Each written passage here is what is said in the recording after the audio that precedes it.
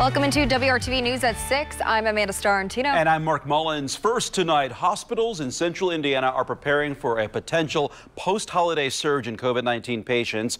Leaders at one local hospital are taking action in ways they say are within their control. Our Alyssa Donovan explains what that means and what you need to know. Now that we're into the new year and holiday celebrations are over, doctors are bracing for the possibility of a surge in COVID 19 patients a surge hospitals like Franciscan Health may struggle to accommodate.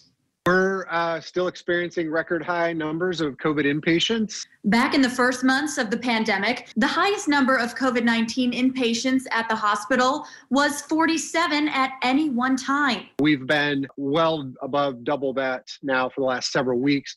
Between 100 and 115 COVID 19 inpatients on a given day. And now they're preparing for more partly due to the expected post Christmas, post holiday surge. Hospitals across Indiana were able to resume elective surgeries as an executive order by Governor Holcomb pausing non emergent surgeries was lifted last week. Franciscan is continuing the restriction.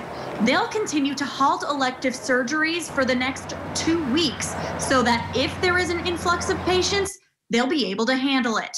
Even with the restriction, more COVID patients will still be a challenge. Our critical care capacity has been running at its limit now for several weeks. We we make uh, the best we can out of the available space that we have. Normally, they'd be accepting transfers from other hospitals, but right now that is very limited. Doctors with Franciscan Health say over the next two weeks is when someone who potentially was infected at a holiday gathering would start to present symptoms. So they'll recess their restrictions after that.